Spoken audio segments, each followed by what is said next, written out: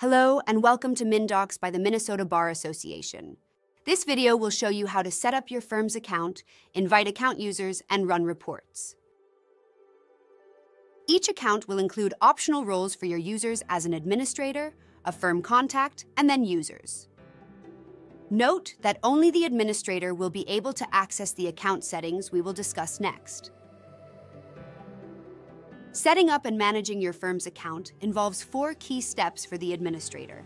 This includes entering firm and attorney information for use in the system, enabling your account to save data to the cloud, inviting additional users to your firm's account, and running reports to review your firm's use. To add firm and attorney information, navigate to the Manage tab and then select Firm Information.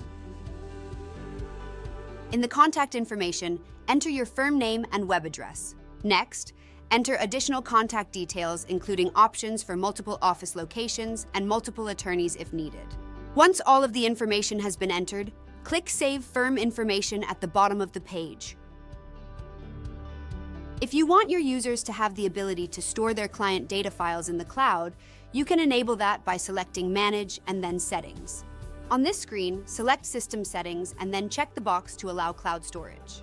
At this time, you do not need to do anything else on this screen. Click Update at the bottom of the page. If you have purchased more than one license, you can add additional users in the Manage menu under My Users. Once there, click the Add User button. You can then complete the user information and hit Save.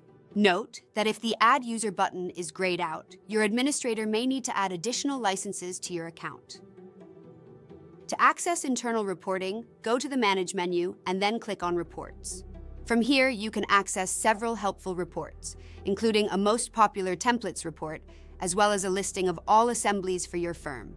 Please note you can set the date ranges for each report.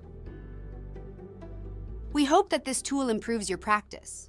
Please reach out to us at mndocs at mnbars.org anytime with questions or comments. Thanks for watching.